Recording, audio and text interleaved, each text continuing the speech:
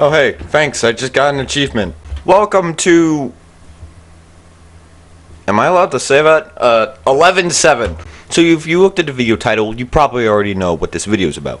And if you didn't read the title, then that means you just looked at the thumbnail. Which if you looked at the thumbnail, probably also know what this video is about. This video is how to use the PAC3 editor. Also, I am extremely sorry for free Gmod videos straight in a row, even though I've done that with Roblox, but we don't talk about that right now. So, obviously what you will need is the PAC3 editor. Um, it will be linked in the description below. Although I do recommend go like actually opening the Steam app and go like software and going into it and finding it. It's very simple, just PAC3. It's actually re-upload version because uh, for some reason it got like removed and re-added in like a day. So once you have a pack, you will go open. You will need to open the PAC3 editor, obviously, and you will see your player model. Now, um, what I recommend is if you right click, you will see T-pose, and that's is what I recommend you do. Also, if you have any tools equipped, obviously I don't, but I'm going to do anyway, you can just go to tools, show only with active weapon, and hit hide weapon. That will do it. Now, what you'll need to do is see this area right here. This is your workspace. You will need to go to uh, right click again and hit group. And once you're on that, zero children. Right click on that and hit model. And obviously, every single model uh, will have this. Like it'll. This is the default thing. Now you can go choose what you want for that. Now you could get things from your workshop and there are a ton of items I have in my workshop. Uh, I'm not going to use any really right now because uh, those really aren't really a good example thing. Like I have stuff for Splatoon. I'll show all that advanced stuff later, but still.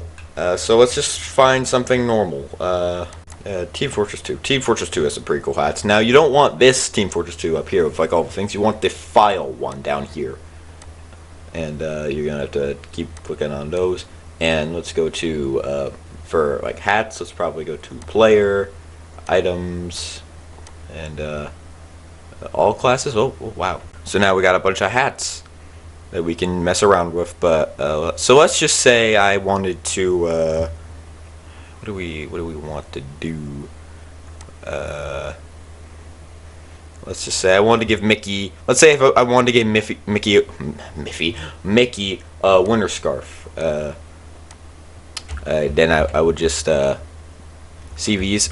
So you see these here, these are what you can use to like kind of like rotate it.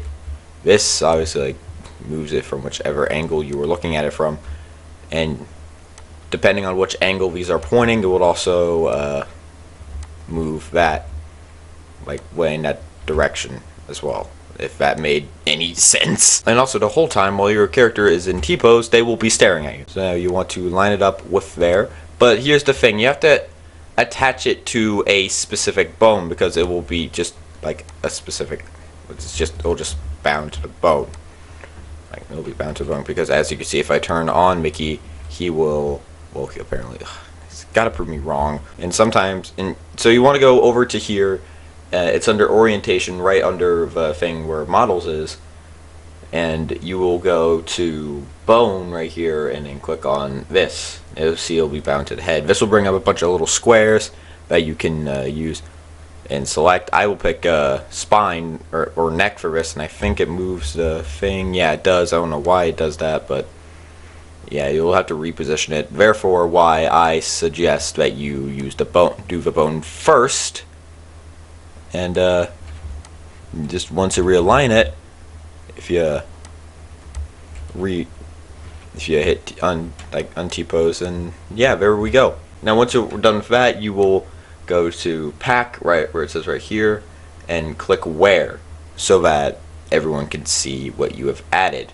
Then once you're done with that click exit and then there you go you are wearing a wonder scarf obviously you won't be able, you sometimes won't be able to see it right away because I was just using holding a camera, but it wasn't there for some reason. And yeah, now you're wearing a winter scarf. It'll even be on you when you die. The power of technology today. It'll even be on you when you respawn. Whoa! Look at that! Whoa! What the, golly! Golly gee! Wow. Yeah, but once you get done with the pack editor, you can basically add anything, even other player models, leading to monstrosities like this. Welcome to the Shag Mickey. This is Shaggy Mickey. Okay, I didn't make this. Slols made this, my good friend, my good pal. And it is truly beautiful. Make sure you tell him in the comments how beautiful this is. I mean, look at this. You could see Mickey. He even gave him a little peek hole.